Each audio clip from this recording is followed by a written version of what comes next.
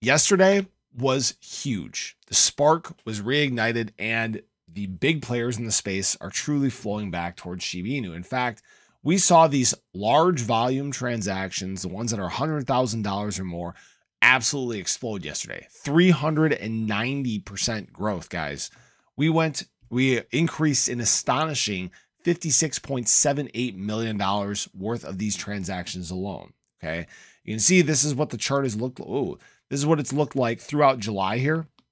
It's been pretty flat for the most part. So obviously yesterday was a very big deal. Shiba Inu price soared almost 10% on the day. Actually got above 5080 at 1.2. Now, unfortunately, we didn't really get much help overnight. Okay.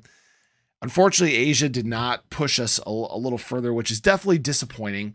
But right now, we've essentially gotten back into this, this range, this 5078 through this 5080 level.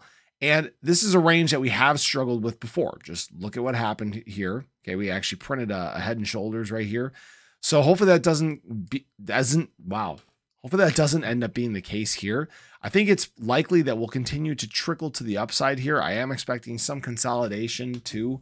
It's kind of tough to judge it from here, but what has officially happened now is once Judge Torres releases the official ruling, Okay, because this wasn't the official ruling, guys. This is just essentially info that was it wasn't essentially leaked, but it was kind of like a pre pre-release on that information.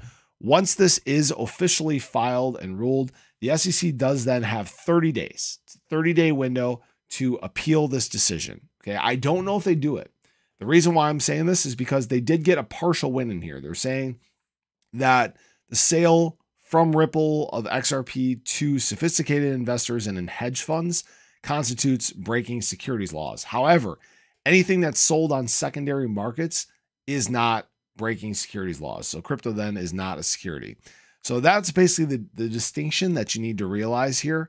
And we obviously need to wait to see how this all plays out. I think that's the final pause that we're waiting for is to see if the SEC does, in fact, want to appeal this decision. They're, they may not have much luck. Okay.